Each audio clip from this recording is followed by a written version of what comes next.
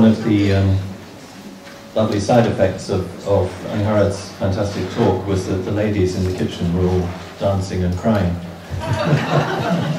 um, which is lovely. They're wonderful volunteers, and um, we're very grateful that they organise it so well, look after our needs for tea and coffee.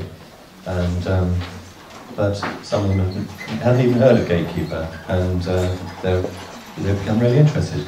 So that's a very nice side effect. And now I have enormous pleasure of introducing John Wadsworth. Um, John is a great friend of Gatekeeper. I don't know why I keep saying that, really, because everyone's a great friend of Gatekeeper who speaks here, but he, he is.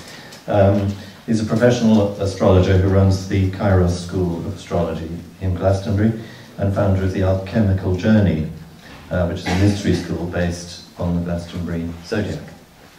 Um, so John is going to speak this morning on turning the wheel of the zodiac. He's a very entertaining speaker, no pressure.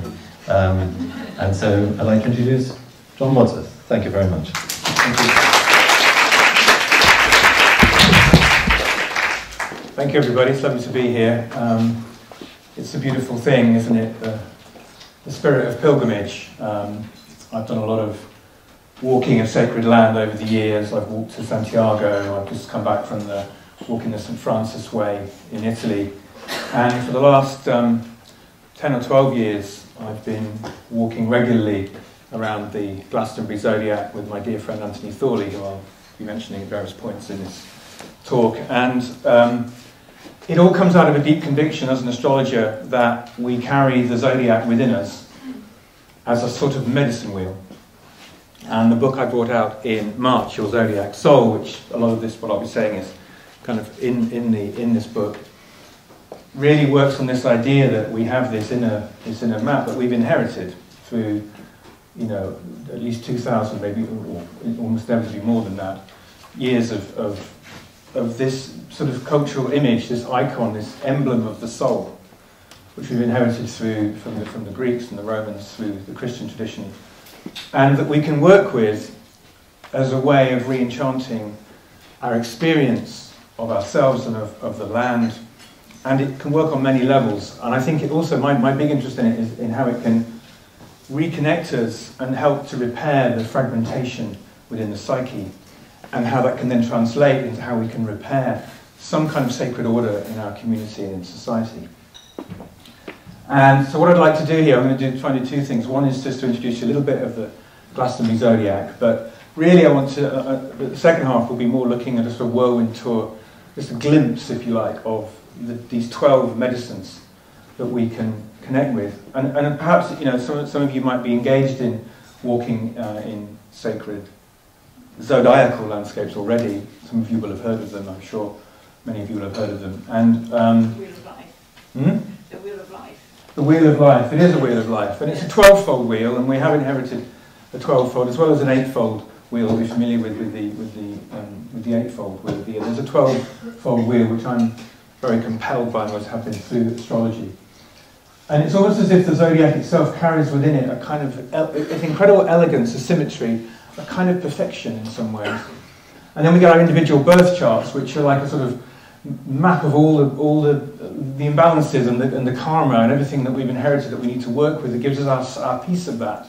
But then there's this, there's this elegant system, this elegant map, which sits behind that, which we can help to reconnect us and give context to our own individual journey. But something that, you know, something that Anthony, is Anthony here, many of you will know, um, who inspired me with the actual glass. He introduced me to Glastonbury Zodiac about 15 years ago. I was already running a program. Um, the, the, alchemical journey had already been born as a, as a, as a sort of initiatory path before I even encountered the Glastonbury um, landscape zodiac. Uh, but when we started working together, you know, we, and what we've been doing for, for many years now is leading groups through the figures, through the, through the land each, um, each month as the sun is in each sign and working with the, the deep mythology, the symbolism, the alchemical imagery of each sign, preparing the imagination to then go out and walk the figures um, in the land so that our, our, imaginations are ready to encounter the many synchronicities that we find there. So I'm going to come back and talk a bit more about that in a little while. But I just thought I'd just to summarise what I'm, you know, my, my, my take on the zodiac, or the way that we can think of it as a, a turning wheel of life experience, a basis for natural and cosmic order. Something about this order within which all this creative possibility can, can occur. A developmental journey through life. We can see, we can map the zodiac onto the life cycle in the same way we can map it onto the body and the parts of the body. Initiatory stages, 12 initiatory stages based on the mytho seasonal cycle, the idea that there are you know, these 12 stories in the year that we can connect with. A round table map of the psyche, 12 members of our astrological imagination that are there that we can refer to for counsel, as if there is a council, a round table council within our imaginations, which if we can restore the an awareness of that we can take out into our lives and out into and, and, and as we walk and as we as we encounter any landscape it may be that we maybe we can we can actually help to cohere something of this order in ourselves. And I, I talk a lot about my, my big theme really is wholeness the idea that we're born whole and complete but they we're very quickly early on educated out of that wholeness into a, a more fragmented state and here are 12 gateways um, that we can you know, restore this sense of wholeness. This is uh, Yuri, Yuri Leeson, this lovely uh, map here of the, the wheel of the year showing the 12 signs, showing the, you know, the, um, the importance here of the, of the equinox and solstice markers.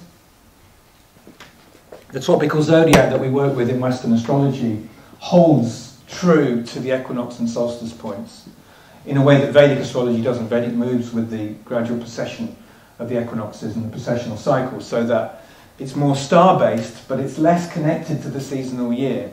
So uh, I'm a great defender of the Western zodiac because it holds true to the original seasonal images of the signs of the zodiac, because Aries really means the spring equinox. Capricorn means the winter solstice, so that's where it belongs. And so as we enter those markers in the year, so that begins that that point where the sun is in that sign, and then all the how that then works metaphorically down through the other planetary positions as well.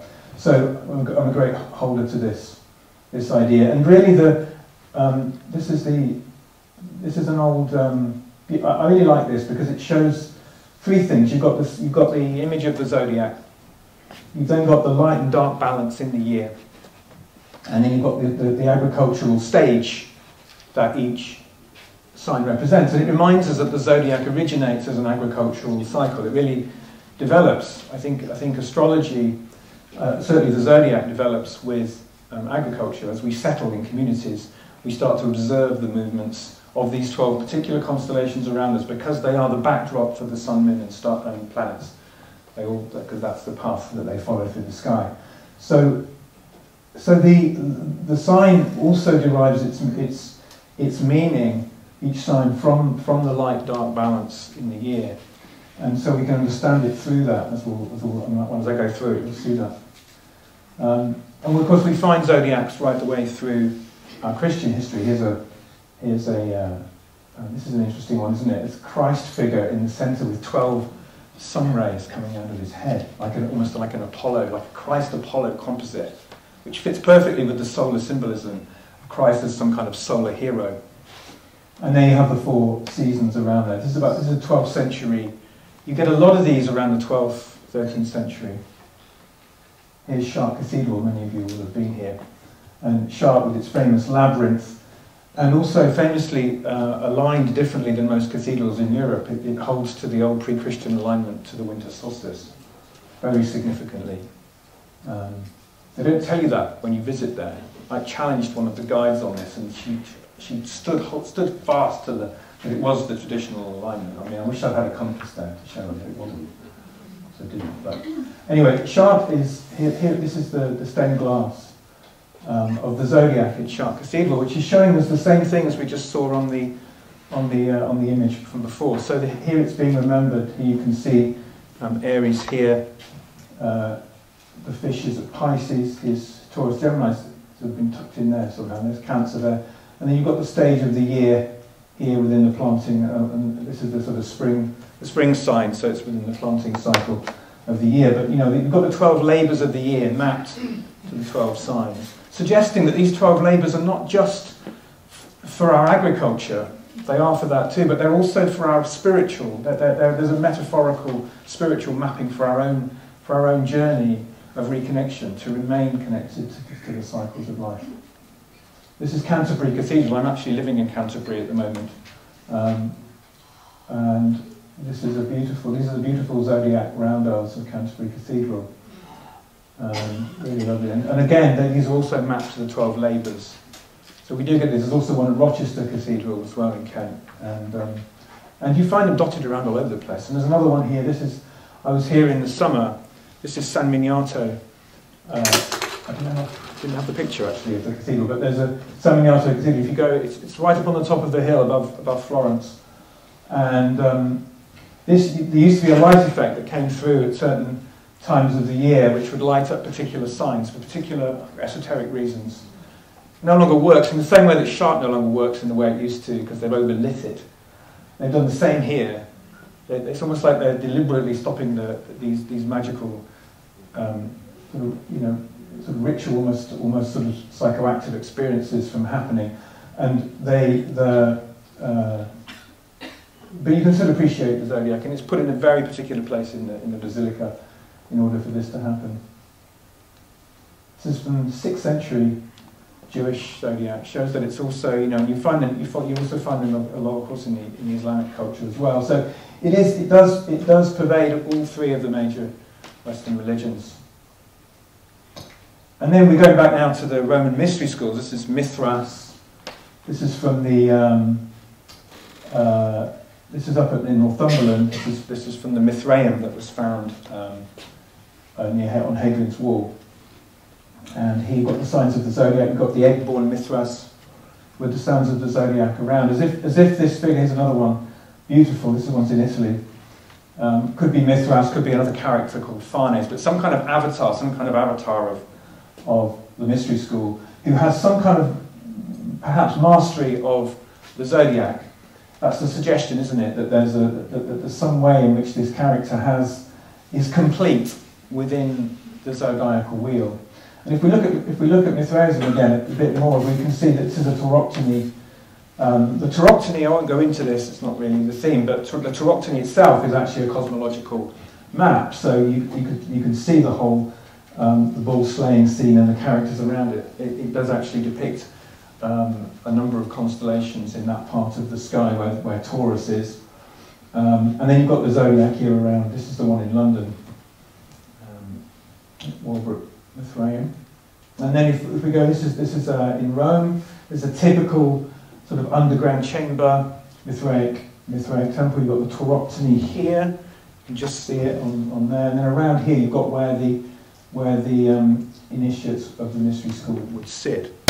And Roger Beck has shown that this was aligned to the zodiac and the planets, and there's a particular way of doing it. And quite possibly they were, they, it seems as though they were, they were honouring different signs at different times of the year as they went through the year, seeking to embody the wisdom, the medicine of each one, which is in a way what we're trying to do with the alchemical journey. Um, this is John Michell, uh, wonderful advocate of this idea with the beginning of civilization, the number 12 rose naturally to prominence. Founders and reformers of civilization have constantly detected a 12-part pattern in the heavens and have brought that pattern to Earth in the form of zodiacal landscapes and 12 tribe societies. We, we can see that in the, the 12 tribe nations, a wonderful book that he did with, with Christine Rhone, where he shows that how many, how many uh, land, how many societies were organized around the 12. So the 12, um, like there were, there were, there were 12 sections, there were 12 uh, regions in Ireland, for example, all around a central point. And he's shown how this is the case. Um, I've been working in Jersey a lot recently, and there's 12, 12 districts in Jersey that's, and I'm just at the moment just starting to look at whether there's a zodiacal pattern there. There probably will be, because there's something about when you get, when, when, when a 12ness occurs, a zodiacal pattern starts to emerge, and this is a really interesting theme. Here's Catherine Maltwood, here's the Glastonbury Zodiac. This is a map that um, we managed to get hold of that we, we believe is her original, one of her original maps. Anthony now has it. It's a huge, great thing. And it has the, on the back of it uh, the stars, and it shows how the stars map onto the signs on the ground. And um, in this way here, this is the, the mapping. So this is, when she started to discover this, she started to see figures. She was looking for Arthurian stories at first, and then started to realize that a, a, zodiacal pattern was emerging. And um, she started with the lion. She discovered the lion Leo, which was just here, first of all. Um, this is the River Cary that she saw this. And then it's made up, the, the, the figures are made up of rivers and old trackways and roads and so on. And, um, and each, each figure, as, she, as, they, as they started to emerge, she realized that she was finding all kinds of synchronicity in the land, in the places, in the names of streets, in local legends, and so on. But that it conformed extraordinarily to this, to this pattern, particular stars on particular places, and so on. This is Mary Caine's image, and she's shown how it, how it maps down. So these, these 12 can also be seen as 12 um, members of the Round Table, in the Arthurian tradition too. Here we are, walking on a lovely, it didn't always look like this when we were walking the land. We walked in some pretty grotty, torrential downpours. It always seems to rain on Pisces, which always seems somehow appropriate. So I think this is walking down Lollover Hill at Compton Dundon, the Gemini figure. And a winter walk we're doing. I think this is the Aquarius, well this is the Aquarius figure, yeah. Would be image that um, Tor there, enigmatically um, hanging over us. It's a 12 mile circle, the Glastonbury Zodiac, so it's not just in Glastonbury itself, but Glastonbury is the Aquarius figure and the Pisces figure on the other side of the town as well. And there are others, of course. This is Mary Caine's Kingston Zodiac. So Mary Caine, who did so much work on the Glastonbury Zodiac, and in a way kept it going, um, she carried on the work really after Catherine Maltwood died. And um, she discovered the Kingston Zodiac, which was around her own area.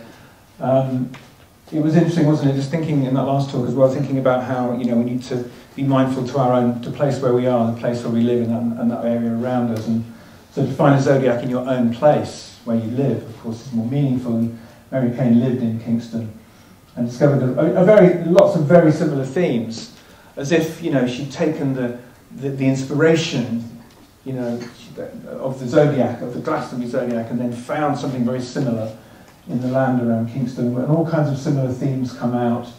Um, a guardian dog, which is a feature of both um, the Glastonbury zodiac and the Kingston zodiac. Uh, perhaps uh, Canis Major, and lots of, you know, lots of ideas of a dog guard, you know, guarding the sacred place, the place of the underworld, the place of that otherworld inspiration. Here's the dog here on the left.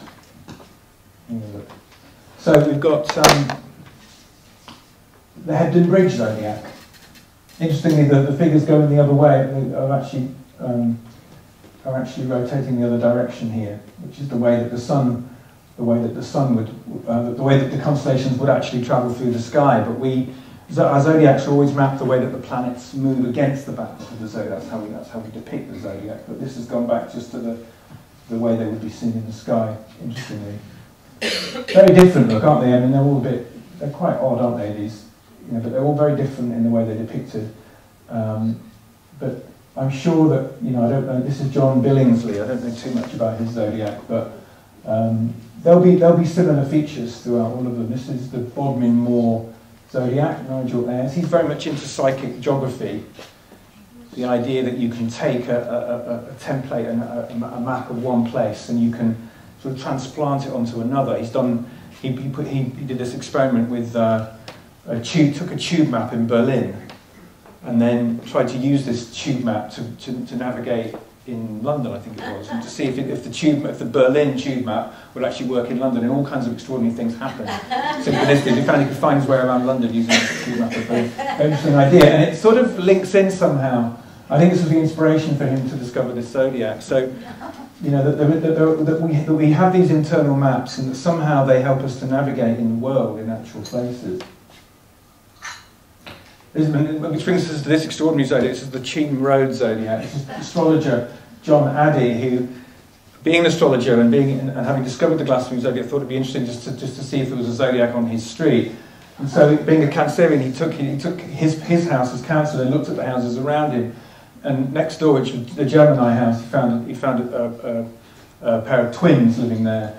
And next to that, in the Taurus, in the Taurus house, they had this beautifully preserved garden, and they, and they were and they were growing their own food. And then the next time there was a guy living on his own in the Aries house, uh, a guy from who, who'd been in the army, military man. And the next door there was a a, a, a, drunken old priest living in the uh, in the Pisces house, and it all seemed to fit. But what was even more, what was then, what was then sort of even more interesting and controversial is that he thought, well, what, what if I was the Aries house? I think he, he took one of his other positions in his own chart, and then realised that the that the um, the that the, uh, that the Gemini house next door could also be another sign.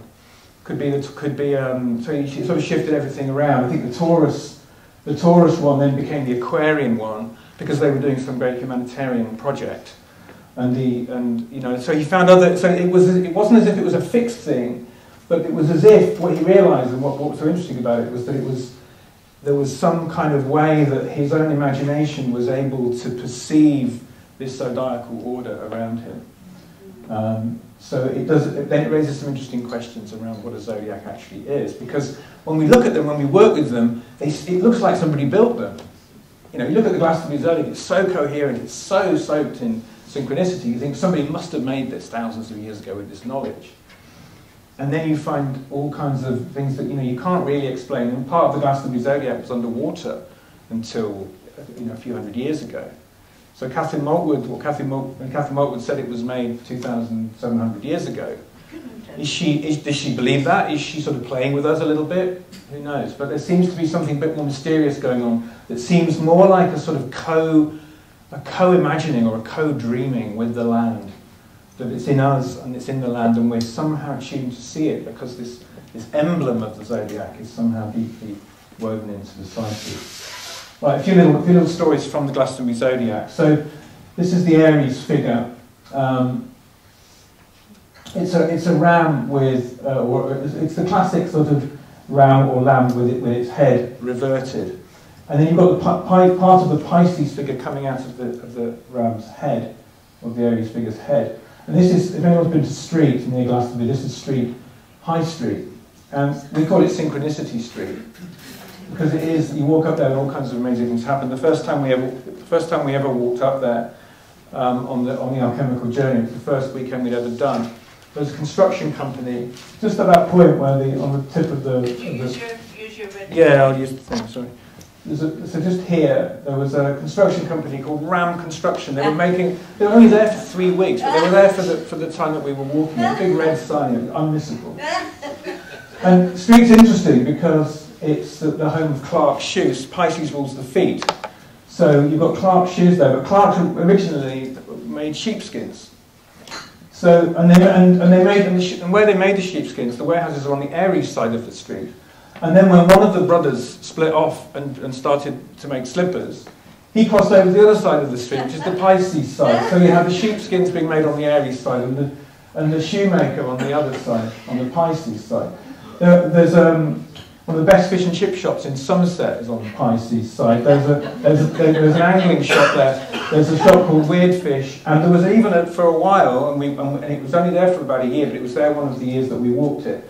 There was, they, they, there was a therapy centre with the little fish that, that bite the bottoms of your soles. Oh, so I went in there, I said, have you got any, did you know you were on the Pisces figure of the Gospel She had no idea at all. So people are doing this unconsciously they've got no idea what they're doing. There's a hairdressing school in, in, um, in Street, and there are, uh, there are a disproportionate number of hairdressers, and they're all on the Aries side of the, Aries rules the head. They're all on the Aries side of the street, you know, what's going on. And um, and then you've got, this, this, this popped up last year, on the Aries side of the street, you know. Uh, you know, what's happening? You know, there's Mr. Shepherd, the dentist. There's Mr. Shepherd, the butcher. There's, the, on the Aries side, you know. They seem to know which side to go. Hard, hard to sort of explain. Nobody knows what they're doing, of course, but there's something happening. But, but how, it's so much fun to be able to. But there's something profound going on, isn't there? That we, that, you know, that would, would these even, I mean, who knows? Would they even started up here if we hadn't sort of stirred all this up? Um, this is the Leo figure, the first figure that Catherine Maltwood discovered.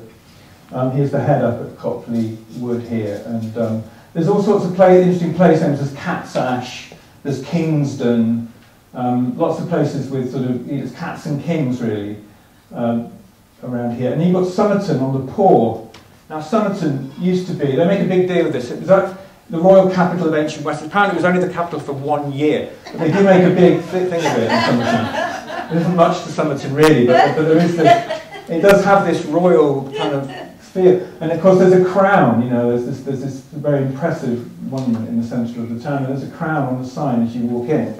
It all feels rather grand. And then, and then you, and you've got the Red Lion. There's lots of Red Lion's the most common name of a pub. So it's not such, but, but there was a big statue, I found this image of a, a statue of a lion there, in the, in, in the, in the heart of Somerton Square. Um, and then, and um, this is interesting. On one of our walks, we found this, we found this unbelievably huge paw print that was far too big. This is in Leo, in the woods, on the Leo walk. And there was only one. There was no. There wasn't another one. It was just one huge pulpit. And then somebody found a bit of a joke with us and they gone and made it, you know, just to have a laugh. It was in the middle of in this wood that nobody ever goes in, really. So, and no one could really. It was all very exciting. So we couldn't. We couldn't really. Uh, we thought maybe one of those big cats, you know, that just sort of step in to reality and just, just, just, just say hello. And there it was, you know. And we had to find it in the Leo figure, of course. Um, this is a Sagittarius figure. It's one of the biggest figures in the zodiac. this is Osmond Caine, who's Mary Caine's husband, who made these beautiful um, sort of mosaic images of the zodiac figures. This is actually in the King Arthur pub in, in Glastonbury now. Um, here is a close-up of it. And um, we're going to just focus on this area around the head here, just here. Because from here, the, the bird is Libra. Bird, um, Libra is, Libra is um, represented as a dove in the zodiac. And this is the point, so this is where we were just looking there, just here, where the bird flies out of the sort of third eye, really. We call it the third eye point of the, the Sagittarius figure. There's a place called Baltonsborough Flights. That's interesting, isn't it? Baltonsborough Flights. Here it is. It's a, it's a waterfall, or sort of, you know, kind of a weir. Probably called the Flights because it looks like a flight of stairs. But it's the flights. It's the Libra, the Libra bird is flying out of it. You've got the flights of the Sagittarian arrow, you know. So you've got this kind of, it's somehow referencing both Sagittarius and Libra at one of these very interesting points where two signs meet in the wheel.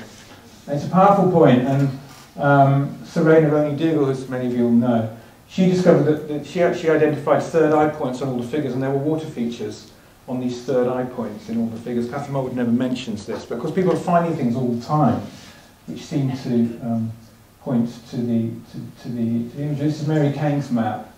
And I just want to point out this, another point where two signs meet here. This is a bit of fun. This is the Capricorn figure here. This is Ponter's Ball, which we always walk along, very special place, sort of a, yeah. And then we've got the Aquarian, this is the, this is the, uh, the Aquarian bird, it's a phoenix bird. Uh, there's a whole story of why Aquarius is symbolized by a phoenix bird, but there's this point where the, where the goat of Capricorn meets the wing of, of the bird. And one year we were walking and we, and we found this in the, in the garden of a house called The Wing. And it's right there. It's right at the point. This is the wing here, and this is this house. This is the house where it is. It's called the wing because it's the wing of a bigger house, right? It's the wing of a house. But it's right on the wing, and there's a goat statue. And we asked her why a goat, you know, if she knew anything about, she didn't know anything about the zodiac. Um, but funnily enough, Geoff Stray, who many of you will know, lives in the house next. He lives here, right next door to it. So he lives at that point. And he knew he knew the, he knew about the wing, but he never made that connection. He didn't know there was a goat in the garden. But there was. But we actually did. We, she, she very kindly let us do a little ritual one year around the goat, drawn a Capricorn. But isn't it? You know, it's just you know these. It's it's kind of what's going on. You know, there's and, and, and we've got countless other stories. I just wanted to give you a few just to kind of whet your appetite a little bit. But you know, so the beauty of it is that it's an evolving thing. We're finding things all the time, but our imaginations are primed to look for these things. This is the point. Um, this is, uh, I've just done a close-up here just to show you the centre. We always want to know about the centre of things. This is the centre of uh, the Glastonbury Zodiac at Park Wood. And um, some of you might have been here. It's quite a special place. You know, we've had some extraordinary experiences there. You know, it's, it's like a sort of a sort of axis mundi of the whole of the whole sort of temple of the stars. And um, here it is again on the, the map. You can see it. This is the, this is where Park Wood would be, right at the centre of the thing, the wheel here. And this is the ecliptic center, which is slightly different. The center of the zodiac is the ecliptic center, slightly different to the pole star. And show on here. This is one of Anthony's one of Anthony's maps. Um, so here's the pole star here. We can see that's the center of the sky, the point that you know that, that doesn't move. But this is part of a bigger circle. This is the precessional circle here. So at the moment we have a pole star here, but we won't always have, and we haven't always had, because this is moving every 26,000 years. Every point on this circle will become the pole star. And at certain points they'll be stars, but only occasionally. We're very kind of, you know, fortunate at the moment to have a star that's actually amazing that, isn't it? In a 26,000 year cycle, only twice do we have a star on the pole star, what we do at the moment. But it's not the centre of the zodiac. The centre of the zodiac is here. This is the centre of the ecliptic, and it's a, it's a special point because it's unaffected by precession. It's, it's, one of the um, there, are, there, are, there are, it's the only point really in the sky unaffected by precession because everything turns around it, it's always there in the same place. There's no star there. But around it, this is the constellation of Draco, the dragon. And the thing with Draco is that it has a piece of its body in every single sector of the wheel. Now, I, I, I've never heard anyone else say this, but I, I can, people talk a lot about the 13th sign.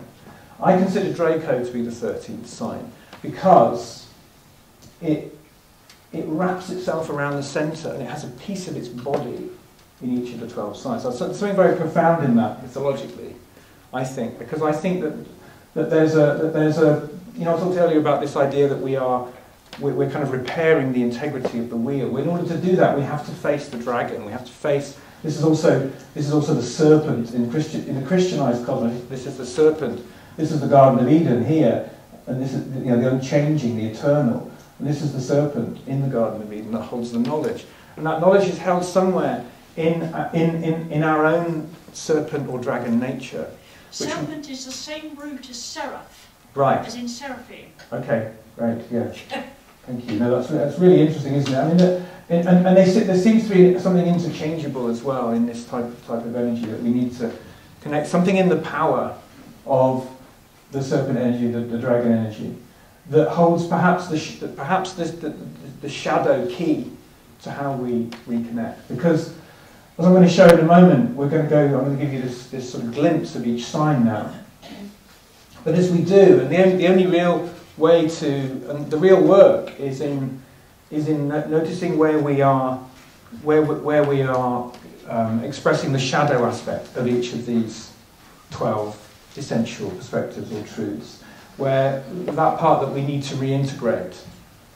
You know, so, you know, I'm going to give us a, I'm going to, I'm going to present us with a, with a beautiful mantra for each sign, a truth that we can, that we can sort of allow to land in our being, but also just, just hint at where the shadow is, where we, because we're getting stuck. We're, if this is a turning wheel that's meant to turn within us in order to create the balance and harmony within us, then there's, a, there's something which is getting stuck, perhaps at each point, where we're, where we're, where we're out of balance, where we're, where we're, where we're not fully authentic in that place, and it's, the, and it's the, where the fear arises in us.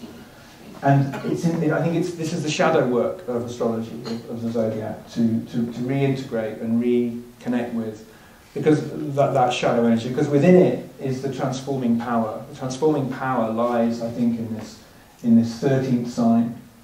It's deeply feminine, and this, the, the 13th sign always gets, always gets shunted out, doesn't it? There's, thir- there's 13, we know there's 13, there's thir- the, the moon goes through the zodiac 13 times a year. And the sun goes through it 12 times a year. So there's a 13thness that keeps getting missed. And I think the 13thness is right at the very heart, right at the very centre of the zodiac. You know, we have this, you know, we, could, we could say, well, there are 13 constellations on the ecliptic ring, which there are. We have a 13th constellation called Ophiuchus. Funnily enough, Ophiuchus carries a serpent. He's the serpent holder. So we can't really get away from it. There's a, the 13th sign is a, is a serpent or a dragon. And, you know, I think there's, a, there's something at the heart of it here which is a big clue for us. There's actually a dragon legend um, in Parkwood. So there's a dragon that's sent to guard the wood. Interesting? So it's right there in the land for us to learn from. So in my book, this is, this is my book, Your Zodiac Soul, which is, which is where, where we go through and, and, and encounter each of these, of these um, medicines in turn and, and the shadow that, that, that goes along with them. And so, in the time I've got left, I want to just give us this, this little tour of the wheel. And um, there's some nice images from, from Yuri Leach, who's creating a, a, a calendar for us, which I'll show you in a minute. Um, so we begin with Aries, the first sign. The sign that, that the, the, the fire sign, the, the, spark of life that, that, that awakens us. The ram, uh, or the, or the seasonal lamb, springtime lamb, the one that comes with unbounded energy and enthusiasm and innocence, that bounds into life without any thought of the consequence. Okay, we all recognise that. Whether I'm an, I'm an Aries, this is familiar to me. Some of you may be also, but you may have Aries somewhere in your chart. You may think Aries are terrible, and they're, you know, and you know, and they're, they're, they're difficult and abrasive and brash and everything else, which we are, of course, as well. And we all, we all have that within us. We all have that energy within us. Can we reclaim it? Because we need it. If we're going to begin anything, we need to be able to access the spark in us and be aware when that spark is too strong, when it burns out of control, and when, it, and when it's destructive, which is the shadow of Aries. But here's the it's fire. Can we connect with our fire? Can we connect with the initiating fire um, of the ram, of the energy of the ram? So, so prominent the head of this figure. We have Athena here, the, the, the Olympian representative of, of, of Aries on Mount Olympus, who was born out of Zeus's head. You know, her, her, her, she becomes the goddess of wisdom, but also of military strategy. She has this clarity and this fiery insight. Um, here we have the ram heads at Karnak, you know, symbolizing the age of Aries when the, when the, during, that, during that period where, the, where Aries was on the spring equinox point, where we had you know, ram, ram head cults and so on, also in Greece with, with Zeus being ram headed. There we have the golden fleece image, um, you know, Jason and, and the argument of Jason, very Aryan character, and so on. So um, the, the, mythology is a way into it, and, and the, the, the book is is rich in all the mythology of the signs and shows how the, the myths are a, a, a way of dreaming back into the medicine of the sign. And the, and the Greco-Roman myths particularly are very useful in this, in this regard, also the Egyptian myths. Um, but here we are, Aries is like the bud in spring. It's, it's got this one thing it's got to do, which is to burst into life you know, in that same way that, you know, give an Aries one thing to do and they'll be all right. You know, don't, don't make it complicated. Keep it simple. And let, let it be about the expression of energy, of life force. That that's all. That's what matters at that point. You know, life has to come back out of the slumber of winter. It needs to express itself, and it needs to come in full with its full power, focused in this bud. So the bud is such a beautiful image, I think, of Aries. I love the sort of the redness here as well, the fiery, the fiery quality here. Light is overtaking dark in the year and we begin the astrological year at this point. Um, we often show this image um, on the alchemical journey to, to us students what we think is going on here. It looks at, at first as though this, this, this figure is about to do, do great violence to this beautiful, perfect egg, doesn't it? You know, and, there, and therein might be, might be a, a shadow energy of, of, Aries, as if his sword is about to come down and, and, and, and destroy everything and, and but, we, but after a while of meditating on it, we realize that the poise in this figure, if you look at the, how, how he's so trained on the egg, as if we have a furnace here indicating that, that, that this is an alchemical fire, a tunnel that maybe represents the birth canal, something about birth and the egg, as if the egg itself may be ready to, to crack open under its own, under its own forces, under its own will. And that somehow this, this figure needs to bring the sword down at the exact moment, perhaps, when the egg would break open under its own means thus not exacting any force upon it, but just timing his moment so that the masculine comes down as the feminine is ready to come out. Uh, so I think it's a beautiful, I'm, I'm convinced that that is at the, at the heart of what this image is about. And, and it's a, that, that, that, that gives you that idea of the kairos, the right moment to act, which is really what the Aries medicine is about. It's about knowing being so tuned in, so connected in to the spiritual spark of life that you know when to act and how to act in the moment with full conviction. And here's the mantra for Aries I am here, I am now, fully present as I am. I am here, I am now, fully present as I am. That's what's called from us. When, we when that Aries energy is called from us, that's where we, what we need to access, that, that, that here-ness, that nowness, and that readiness to act in the moment, as if this is the only moment. Taurus, the second sign. Couldn't be more different than Aries. As if all of that energy expended in Aries now has, and, and, and that spark of life that's come from the heavens now has to land fully in the body, in the sensuous experience of life. The bull, the great bull of heaven. This is the second image from the zodiac calendar. Uri's creating these beautiful, creating these beautiful zodiac images. I'm going to show you each of them. And, and um, it's part of, we're going to have a calendar that actually starts at the spring equinox. Doesn't just go through the year from January. It actually it's, it's organised in, in an astrological year as opposed to the Gregorian calendar. And um, and uh, it's going to be a colouring exercise. People can colour colour it in as well. So that's why they're not in colour. Um, but here we have the Hathor heads here. Hathor, uh, the great the, the, great Egyptian cow of heaven, you know, who, who fed, whose milk fed the, the pharaoh, you know, and, and, and, the immortality of her milk and so on. And the, this idea of the Taurus is all about how how life feeds us and how we are fed by life. It connects us with, with the earth, with the good earth. It slows us right down so that we can really feel everything in our senses. And there's nothing like you know being in the presence of a bull to feel the sensuous nature of life. We've run into one or two bulls actually on our Taurus walks, funnily enough. There are five cattle farms on the on the uh, in Compton Dundon, on the walk on the uh, on the walk that we do up there, and uh, you, can you can just feel the bull and the cow energy around. Um, and here we have the age of the age of Taurus, which going back to the Cretan times, and of course the, the Cretan bull myths. Bull myths pervade the whole Cretan story, and it, it is an older civilization.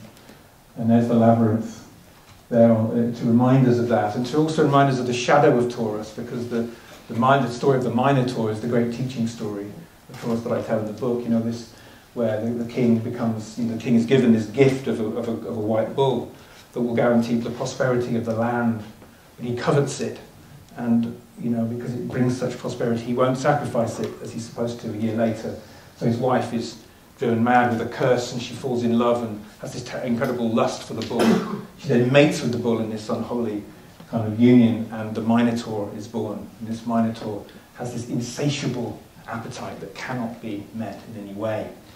No matter how many virgins are sent over from the mainland to be fed to it, it still wants more and more and more and more. A great shadow teaching story, ominous shadow teaching story for our age, of course, but the greed of of talks. They were happy, they were happy images. I'll come back to those. Um, here, isn't this great? This is, this is Wall Street. This is the symbol of Wall Street. Really and sums it up. The bull market. The bull comes to be a symbol of prosperity, but of, but of, but of, but when it's out of balance, it's just insatiable. It cannot. Its, its appetite cannot be met, and we end up in, in, in all kinds of shadow territory, as opposed to just celebrating the blossom, which is really the gift of Taurus, the blossom of the May so as if that, that bud now has just blossomed and we get this gift. And so for this season, we're just sort of, you know, and our senses are just filled with the blossom of Taurus. And the, and the, the, the, the Beltane ceremony from last year in Glastonbury. So, you know, a great time of feasting, of, of, of, of sexual awakening, of sensuality that Taurus is really all about. And really, Taurus is a medicine of gratitude. It's being grateful for what we have. So when we're fully grateful for what we have, we, we, we cease to want more because we're actually, why would we want more if we have everything we need here? And we're so out of balance in that, in that perspective, aren't we? I am fully embodied here in gratitude for the sensuality of this moment. I am fully embodied here in this moment for the sensuality of this moment. Yes. This is a great story teaching. Gemini. It all changes again, and here it really changes because we're here we're in the sign of change. The air sign. We've gone from fire to earth, now we're in the element of air. And with the air come, come the pollinators, the bees and the butterflies that represent Gemini, drawn perhaps by the blossoms of Taurus but as the winds of Gemini come and blow the blossoms from the trees, so everything is changing. And this time of change, this great hubbub of change that happens in, in the May June time of the year, and the diversity and the variety. So here, here, we, here we're connecting with the medicine of diversity in Gemini and of the communication and the, and the pollination of, of everything in flux, everything in movement. You know, there's, there's, a, there's an inconsistency and an inconstancy in Gemini, but necessarily so because we need to keep moving and changing. This is the time of the year where we need to be not settling. We settled in Taurus a bit, you know, we had to land and ground and become just, just feel the good earth. But now there's so much happening, there's so much changing, there's so much activity. There's a lot of news coming in. Gemini brings the news, just as the bees and butterflies bring the news of summer. The lovely image here of the twins, the Dioscuri twins, Castor and Pollux, one mortal, one divine, one in the other world, one in this world. As if, as if we're born with a part of us that didn't incarnate, that we're trying to make a connection with all the time. You know, I always think of a child and, and their invisible friend. That invisible friend is like the spirit twin, I think. That, I think, you know, we could say, well, how does a child learn to communicate? Well, well, they learn from their mothers, they learn from the people around them. Yes, they do, but I think there's another relationship going on which isn't to do with that. I think there's a, there's a trying to communicate with the, with the immaterial part of us, to keep that dialogue open. And, you know, and, and, and our, of course our, our culture tries to close that down very early on and really to our cost. So how do we reawaken and reconnect with that? How do we reconnect with that spirit twin that we all have? And the shadow of Gemini, of course, is when, I, I call it loose talk and gossip. You know, when, when, when language itself, when we forget that language is the thing which creates reality, that our words are sacred vehicles of intention.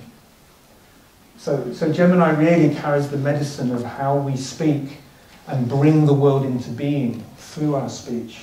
How we take a thought and, and, and that thought becomes manifest in some way. We forget how powerful we are with and how, how powerful our word is. And we, and we just flitter it away, don't we?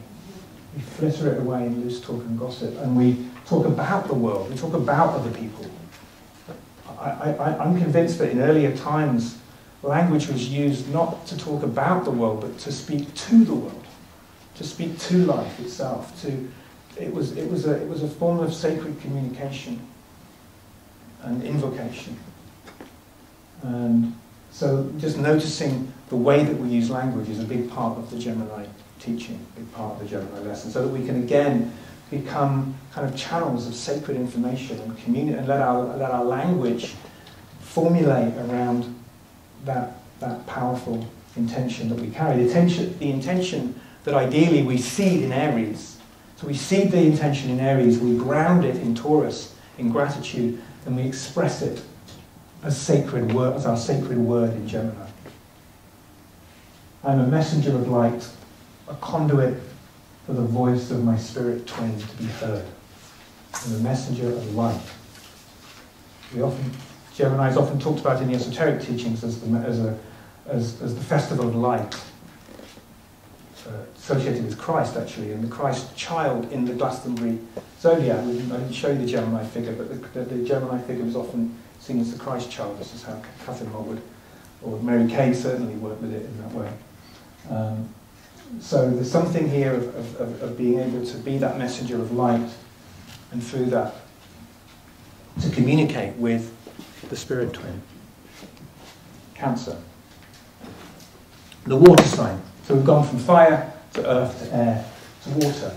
And water connects us with feeling. If, if, if the, the air element, if, if, if fire is spirit, that sort of that fiery creative spirit, and earth is our body and the land and the ground and the good earth, and, and Gemini is an air sign, the air of communication and, and the way we are socially connected, intellectually stimulated, and the way our ideas are formed in the air. So water brings us into our feelings and into memory and into the, the water that runs through us, those, those, those underground streams that Maria was talking about yesterday, you know, the deep water within us is, in, is the deep water of the, of, of the water science. and, and, it takes us into the soul.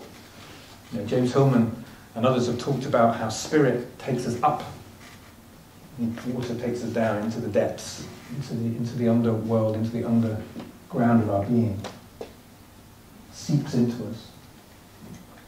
Cancer the crab that moves in this sort of, you know, what looks like a kind of slightly uncertain direction with one forward, two to the side, one back. But sort of like a dance, almost like it's dancing. I often think of the crab, I imagine a crab on the seashore sort of moving with the tides, backwards and forwards, as if there's a moon waxing and waning above it, you know, a moon ruling Cancer. And so as if, as if this kind of lunar tidal dance with this sign. And it's that sensitivity to our own mood, to the menstrual cycle, to the moon cycle, to that movement of water within us, which is so sensitive and also needs to be protected at times, so that you know, there is this sort of nurturing energy that cancer brings with it. Um, it was a, cra- a, crab in the, in the Greek tradition and a scarab in the, in the Egyptian tradition. The scarab beetle. And uh, here's the scarab here. There's a lovely, so I share this very lovely story about the scarab. Some of you might know this. But um, the scarab uh, rolls this ball of dung every 28 days. And um, it does it in this very interesting rhythm. And its young are born out of this ball of dung that it rolls. And it may have seemed to the Egyptians that, that, that, that this was a sort of, you know, a birth that didn't require any, any male insemination. So it was kind of like almost like a parthenogenic, parthenogenetic birth. Um, but it rolled every 28 days. There's a link with the moon. But even more profoundly, what's been found recently is that the scarab, and crabs also do this, interestingly, they, they, are, um, they navigate according to the moon. But on, on dark moon nights, the scarab has been shown to navigate with the, to the stars of the Milky Way. There's an amazing paper written about this by someone who studied this. And so, and the Milky, what's the Milky Way? Well, the Milky Way is, well, Milky Way is many things and many cultures, but it, but it has this connection with, with our way home, the way back, you know, the way, the, the, perhaps the path that we travel between lives. I call it the Milky Way back home because it seems to point back to the origins of things, back to the origins of life. You know, we can look into the heart of the Milky Way and see the center of our own galaxy. But we, but we can also see this, this, you know, this turning, this river of life that we flow along. It seems to be taking us home. And the scarab seems to, seems to, so its navigation seems to know the way. We can become crabby, of course, as well.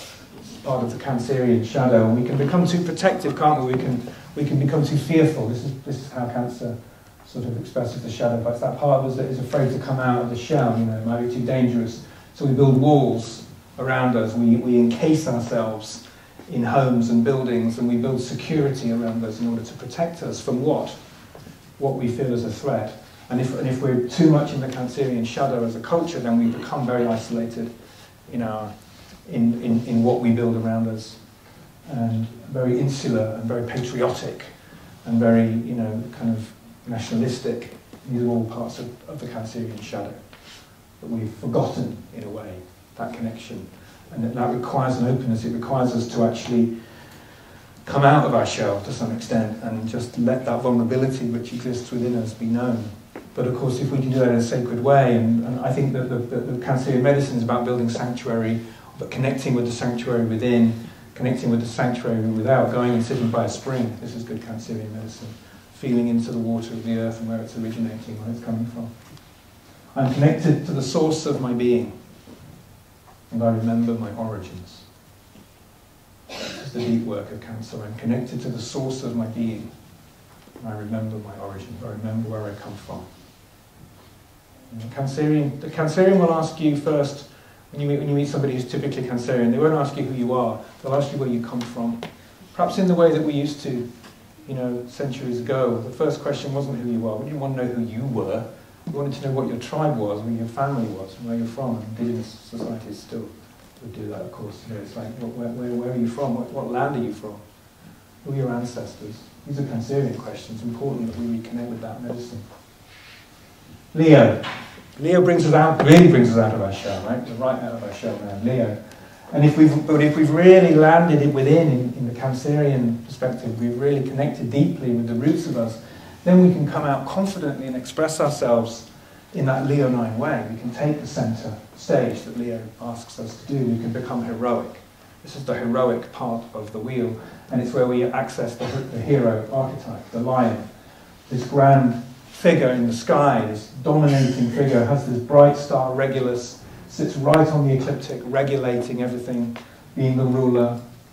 It's the first, it's the first, um, the first effigy that Katharine Maltwood discovers. In most zodiacs, actually, that most landscape zodiac, almost all of them, it's the Leo figure that gets that gets recognised first. That that theme is carried on as well through the discovery of, of the lion and the lamb. And um, it's the time of Lughnasadh in the, in the year. Here the sunflowers. It's a time, you know, where everything is growing, where there's this beautiful flowering brightness, there's a lightness here. So this is another interesting point, actually, that there are that there are that there are 12. I'm just sort of hinting at them here, but we look at the 12 ceremonies in Christianity, and we can also look them back through the pagan ceremonies. There are there are there are astrological themes right the way through um, that, that, correspond. But we can think of the sunflower with her head turning towards the sun as a beautiful Leo symbol. Here's the lion here. Here's the Hercules, the great leonine hero. His most famous labour is the slaying of the Nemean lion. He wears a lion um, pelt and head, head, the headdress there. We've got Apollo up here, God associated with, with the sun. Solar, this is the solar energies of the sun, Lord Leo. We've got Bast here, this protective energy, deeply um, deep feminine wisdom. We've got Sekhmet as well, sort of hinted at here in the, in the head of the lion too, that ferocious aspect of, of the lion in Egypt, which probably would have represented in some way the, the heat of the midday sun, the burning effect of that incredible heat of, of the midday sun in the summer in Egypt.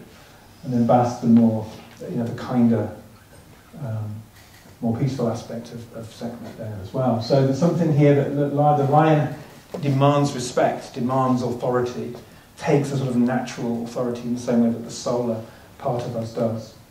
So we need to be able to honour this. And of course, it can rage out of control. and We can become dominators and dictators when, when we're in the shadow of this. But we can also become coward. We can also become cowardly, right? This, this is a lovely story, isn't it, in The Wizard of Oz, the cowardly lion who, who, who can't really step into his Leo nature. And there's something that we have to also find our courage. Leo is a medicine of courage, it's the heroic energy. There are times when we need to step up and, and, and show who we are and be, and, and we need to be who we are. We need to, you know, that need for um, the recognition of our, of our true nature. And of course, there's this lovely moment then at the end of the story when they've followed the yellow brick road and they've met the wizard, and the wizard gives him a badge of courage and recognizes him as the lion that he is. Sort of almost giving him permission there. So there's some way in which we need to be given permission to be ourselves. On the alchemical journey, we used to um, we used to use this big hall in um, near Glastonbury, and we used to roll a big red carpet down the middle of it. And each person would get to walk along the red carpet and be crowned at the end of it. We had a big throne, and I'd, I'd, play a big dramatic piece of music, and then they'd get to the end, and I'd look at their chart, and, I'd, and, we'd all kind of kneel before them and hail them as the king or the queen for that, for that moment. And we'd look at the chart and say what kind of a kingdom this, would, this might be with this person in charge.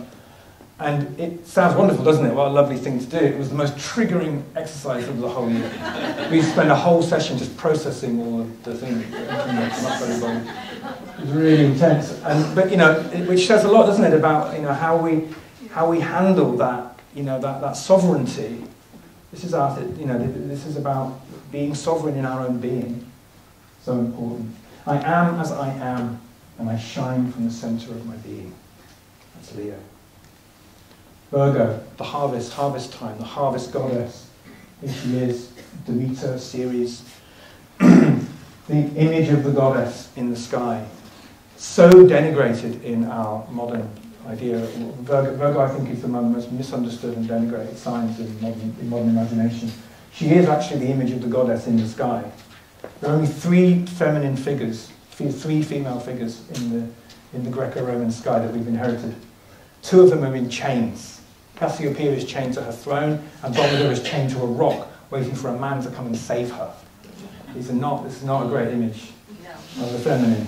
Virgo is the free woman in the sky, the only free, truly free woman in the sky. She holds the harvest goddess.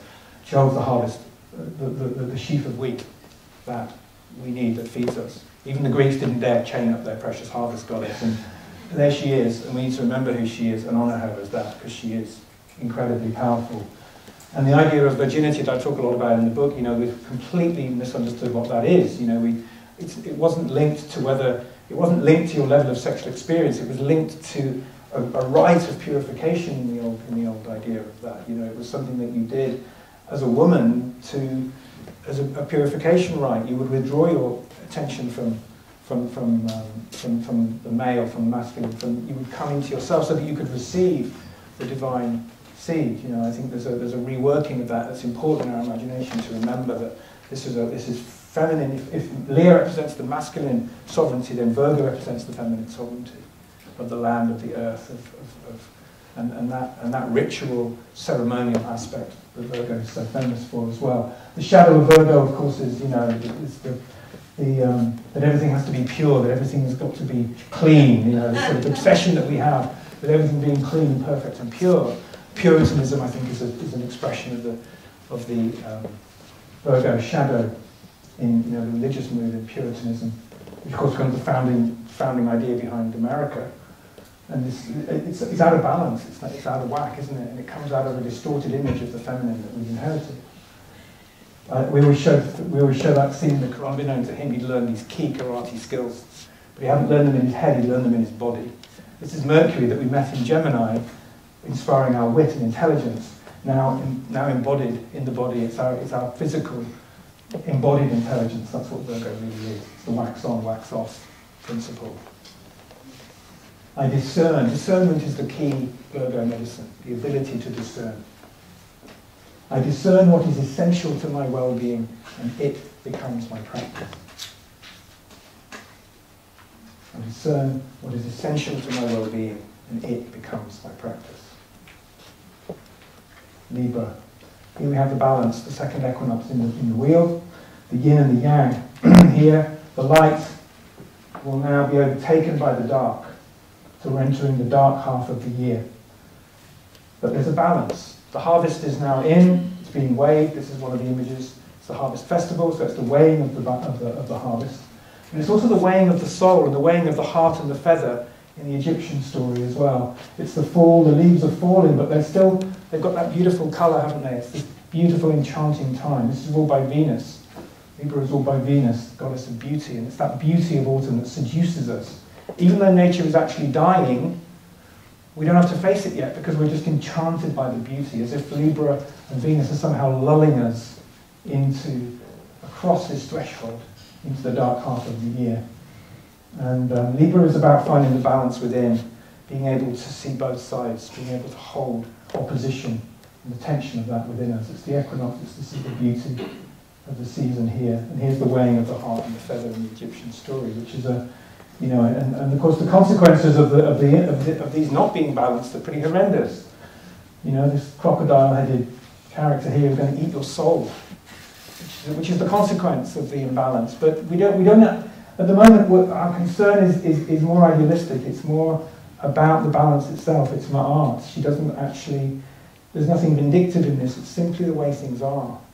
It's simply the balance. It's about things being in balance and how essential that is. And that's really, really what Libra is about. The shadow, of course, is not inviting discord to the wedding. This is what happens when Eris is not invited to the great wedding and she brings her spiteful apple with her, her gift, which gate crashes the party and, and brings about the great beauty contest. And when the feminine is out of balance, or when, when, when, the, when the shadow is not recognized, because you want everything at the wedding feast to be in harmony, there's a consequence. And the consequence is the beauty contest, the archetypal beauty contest, when the feminine competes with itself and vanity becomes the result of that. And the vanity of what happens with the beauty contest brings about the Trojan War. Because Aphrodite wins but in the, but in the process, um, Paris uh, is scorned by the two other, by Hera and Athena, who, who, he, who, he, who he insults. And of course, this brings about the destruction of his kingdom. So there's something here about, about Libra not, not brushing the difficult stuff under the carpet, but inviting discord into the, into the agreement. Because Libra is really about the agreement. It's how we find agreement. I come in peace I walk in beauty and I choose the middle path. It's the Libran truth. And this isn't a compromise. Libra isn't a compromise. The compromise requires that we push the difficult stuff away. This is a creative middle way which can't be seen at first. It can only occur as a new birth that comes out of the tension being held within us. As Carl Jung said, when an inner situation is not made conscious, it happens outside as fate. When the, when the opposition within us is not made conscious, the tensions and difficulties have to play themselves out in the world. So the real alchemy here is to be able to hold those tensions within us so that they don't become. The shadow of Libra is conflict, really. The conflict that comes from not having really allowed both sides to be heard. I come in peace, I walk in beauty, and I choose the middle path. Scorpio. Now we face the consequence. Now we face what happens when those leaves that have fallen now rotting into the ground, the seed of life sown under the ground, as we see in the symbol, the M, the powerful M. Perhaps we have the M symbol in Virgo, perhaps representing the Madonna, the, the, the, the Virgin image, if you like. Here we have, I always think this is the Emma Magdalene that carries the secret sexual power, potency of, this, of the feminine. The seed, the seed of life sown under the ground in the underworld, requiring us to go down, requiring us to, to know the contents of our own shadow in order to know truth. For Libra, truth is beauty. For Scorpio, truth is truth. Deep, deep down in the soul. Water sign.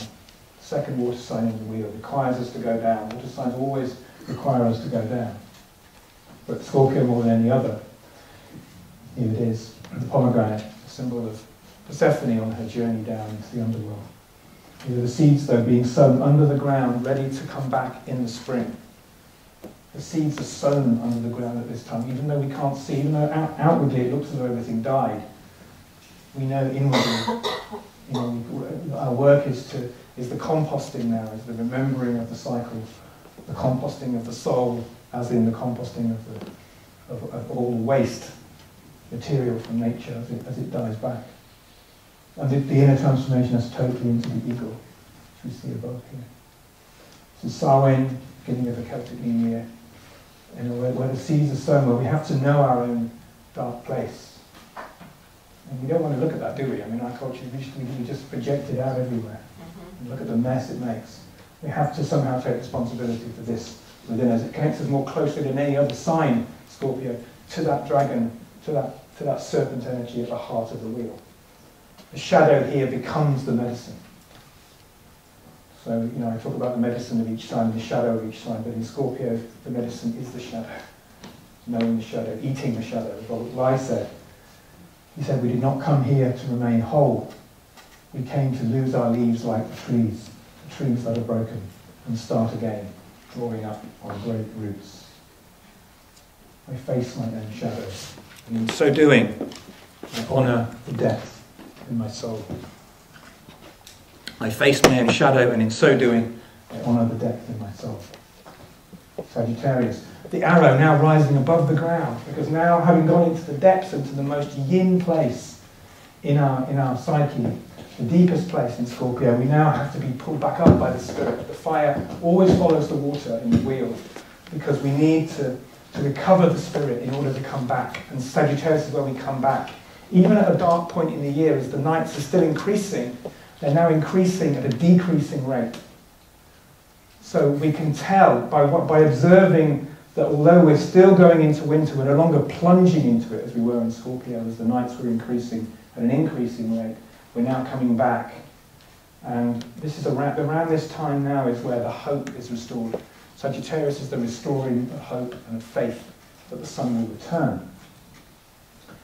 The archer, the fiery arrow, this is the, Chiron, the great mentor of the heroes.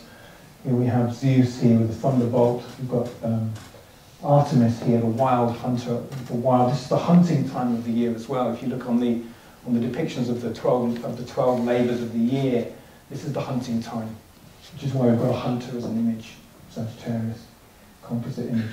It's the Advent. It's the it's the Advent time in Christianity. Advent is the hope, the faith, and the anticipation of the rebirth of the Son, the rebirth of Christ. Here we've got the, you know, we've got the three, the three, three wise men or the three astrologers following the star. One star. Sagittarians will follow one star. You know, the, opposite, the opposite of Gemini. Gemini is always juggling. They always know there's, a, two different ways, at least two different ways of looking at everything. Sagittarius, it's like there's only one way, and that's the way, and that's where we're going. Right? The arrow is trained in one way. There's a, there's a you know, it's an incredible focus. the shadow is a kind of fundamentalism. Well, it is fundamentalism. So we could look at the religious fundamentalism in our world as, the as part of the Sagittarian shadow, for sure. You know, because that, when that conviction is blind, blind faith, blind conviction, a disconnection, therefore, with what, with, with any kind of, with the intellect actually. It's a, it's a, it's a blindness to intellect, the needing, think, thinking that you don't have to explain. You know, sometimes you know you ask a Sagittarian to explain how they know what they know, and you really you can really piss them off. Like, why should I have to explain? You should just just trust me. I know, I know what I'm doing, I know where I'm going. And often they do because they have reconnected with the spirit, but there's also that Gemini need, the opposite need to, to articulate what it is that is actually going on. Here we are, firing our arrow into the future. I know the way, I am guided by the stars, and I trust that my aim is true. We instill that in us and we, and we have faith. Sagittarius has incredible faith that things will get better. The faith, it's Jupiter, the faith that things will get better. Capricorn. This brings the reality. The earth always follows the fire. The earth, the earth signs always follow the fire signs because once you've had the spiritual fiery awakening in the moment, it has to land in the body and be grounded in the body. And it does that very direct, very strongly in Capricorn. Capricorn, the sign of the winter solstice. The old goat. The old goat with the fish's tail. Linking us back to the earliest images of the first teachers that walked on the earth. That they were fish, they were cloaked in fish skin they walked out of the came out of the sea, but they but they were often there was this idea that in the Babylonian idea that, that they that they transformed into a goat or sometimes an antelope, but a horned a horned creature, and they became the first teachers of humanity. So it goes back to really to the origins of things. This sign, this image, depicted as Pan. It's a very it's a nature it's a real nature spirit Capricorn. It's a deep, sensuous, earthy, um, desirous nature but it carries the energy of the, of the highest spirit. This is the gateway that the, through which the initiates are born. Capricorn remembers that, that this is a, a, place of initiation, or a place of, of, of, of, mastery. And it holds the responsibility in many ways for that as well. You know, we have to be somehow responsible for what we've come here to do. Capricorn is the stand that you take. It's what you stand for and what you stand behind.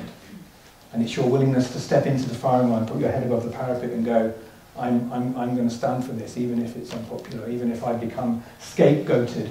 A scapegoat is, a, is, a, is an ancient Capricorn symbol. Christ himself was called the scapegoat. Comes from an earlier Jewish, the idea of the Azazel, the goat that was cast off into the wilderness. But this is the Capricorn image. and um, it's also the image of the, of the Sol Invictus, the unconquerable sun, as well. Yeah. So, it is December 21st, where the, sun, where the sun at its lowest point is gradually kind of carried back, brought back. Old, the, old, the old man of the zodiac, Saturn. Yeah, old father time carries the old wisdom that can be really cranky as well and controlling. The shadow of Capricorn is, I, I, I say, the end justifies the means. So that idea that you can, you, as long as you get, as long as you reach the goal, doesn't matter who you have to walk over to get there. We see that in the ruthless ambition in the corporate world, and all of that. That's the, the, shadow of corporatism in Capricorn, that we think it all has to, everything has to be structured and built. Whereas if that structure is strong within us, if that order is strong within us, then we don't need to impose that on the world, because we have it confidently instilled within us. So we can actually stand true to who we are and what we're here for. I carry the wisdom of the elders and the strength to complete the task I have set. Capricorn is the one sign that when they say they're going to do something, you actually believe them that they're going to achieve it because they will do what it takes in a dogged, determined way to reach the goal. They have the ability to begin and to complete, even though they will take their time to do that, because they know it takes time. And we all have that within us, we all have that capacity within us. Aquarius. the waters of life, overflowing. I would say Aquarius is everything that spills over the top. The overflowing jar. I, I, there were, there were I've chosen a feminine image here. We have got Ganymede here, which is the traditional Greek image of Aquarius in the sky, here feeding Zeus, who became the cupbearer to the gods. Um, but he replaced a, a feminine cupbearer, Hebe, who was, a, who was um, Hebe, known to the Romans as Juventas, who was the fountain of youth. And she, she was the original cupbearer and she represented that eternal youthfulness, that eternal spring. She was sacked by Zeus um, because apparently she embarrassed the gods by, by accidentally, we're told, revealing her nakedness. She dropped her tunic and embarrassed the gods. Very strange, sort of like weird, sort of titillating schoolboy humour type of experience. And yet, what, what she actually doing? Probably was some kind of this probably remembers some kind of early sacred rite of exposing the genitalia that you find in the Mesopotamian goddess rites. But this is, this is, this is twisted. This, is, this happens at a time when the whole feminine wisdom and the matriarch is being twisted, I think. And, and so she's sacked for this. She spills the ambrosia. That's the clue that she's Aquarian. She spills the ambrosia. And apparently, because she spills the ambrosia, that's why she's also dismissed for that. Any kind of spilling, any kind of anything which spills is Aquarian because it's supposed to spill. You know, the, the, the sacred waters, the sacred nectar, of the ambrosia is supposed to spill out so that it benefits everybody, not just those in control. And this is the deep Aquarian mystery, I think. And it's the snowdrops as well of, of, the, of, the, of. The heralds. The Aquarians are the heralds of the future. The snowdrops are the first flower that come and remind us that spring will return. The brave, you know, like, what are they doing? There's still snow on the ground and the snowdrops are coming up. What, what are they doing? How are they so, how are they so brave and so, and so apparently insignificant? But they gather in community. They grow in little clusters, don't they? Like little Aquarian communities. They bring the first light of spring, the quickening of nature. And they bring, and Aquarius brings the round table idea, like the whole idea of the round table, the inclusivity of all the different perspectives is an Aquarian idea. It's an idealized energy. The shadow of it is a sort of disembodied. Um, you know, when we, when, we, when we think we can appreciate everything from the top down, when we look at everything from above, like an architect, looking and thinking that, you know, architects can design the most beautiful and amazing places, but not necessarily places that you can always live in. Because you actually have to, you know, it's an idealized idea, and that's sometimes that's part of the Aquarian shadow. I, lived in a house built by an architect, it was so full of problems. um, I enable the waters of life to flow in service of humanity's highest vision. I enable the waters of life to flow in service of humanity's highest vision.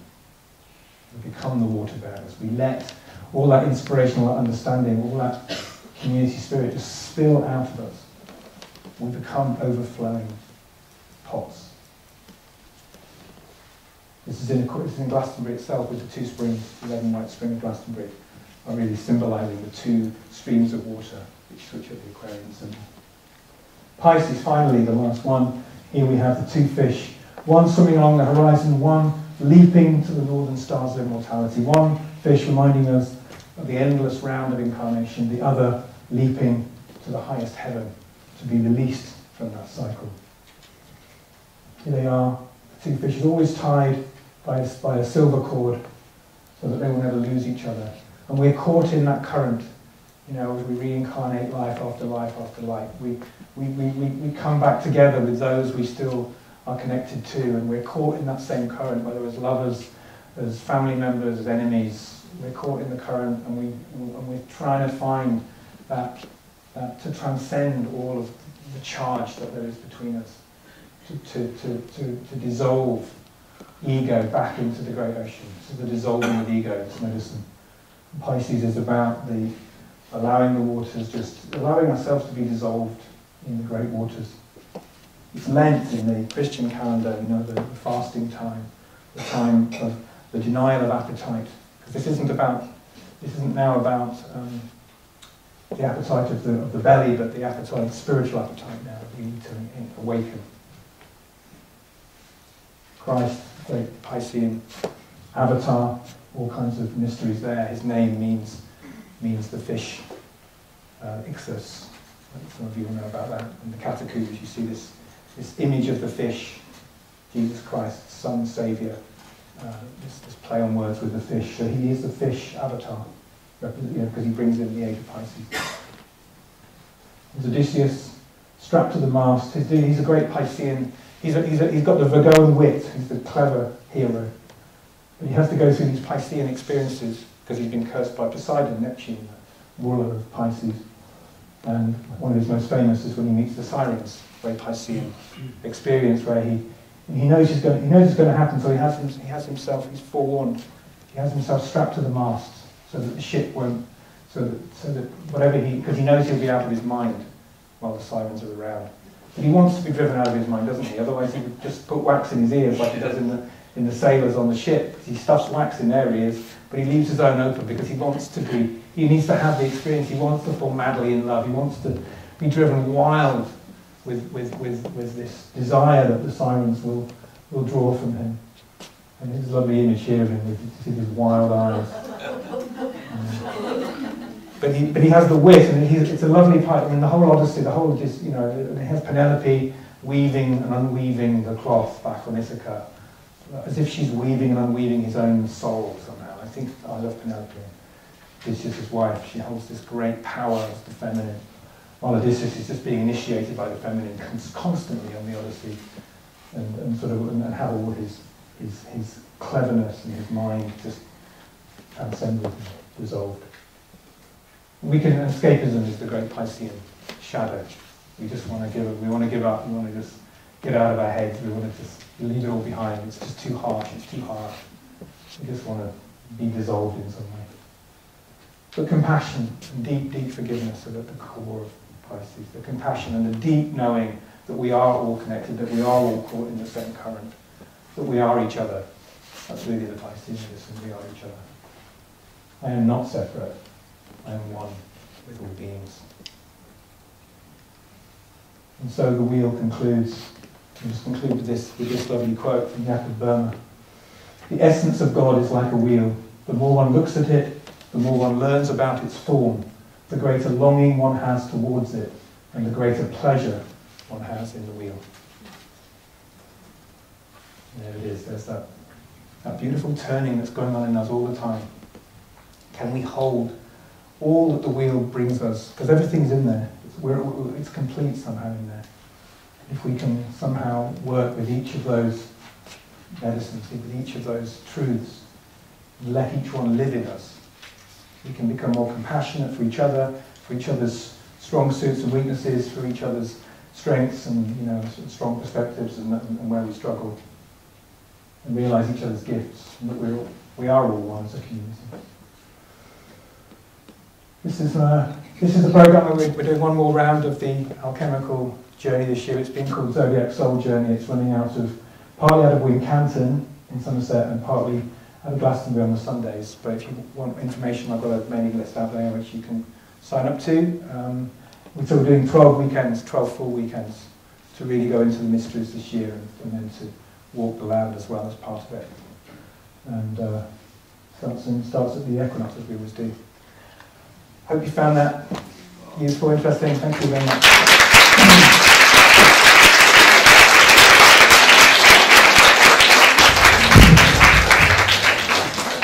Thank you so much, John. That was amazing.